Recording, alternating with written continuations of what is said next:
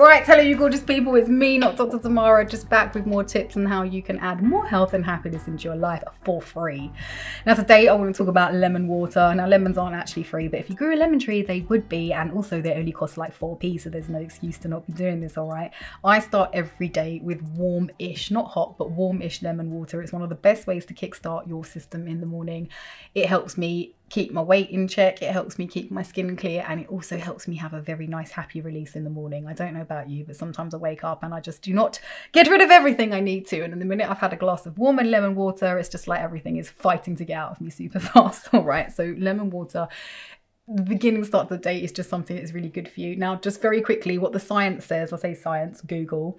Um, it promotes hydration. It's a fantastic source of vitamin C. It supports weight loss, improves your skin, it aids digestion, as I just said, it freshens the breath, and apparently it can help to um, prevent kidney stones. I mean, who wouldn't want a bit of that in their life? Anyway, please add some lemon juice to your life, all right? If you don't like lemons, you can maybe try some limes. But honestly, something as simple as this, as this will start to make such a huge difference. So please try it. Now, if you haven't already, please subscribe to my channel. Please leave me a comment below. Tell me what you want to hear more about, all right? This is all about you guys over here, okay? We want to help you make your life better. So let me know what you want more of. Anyway, thank you for watching and I'll see you soon.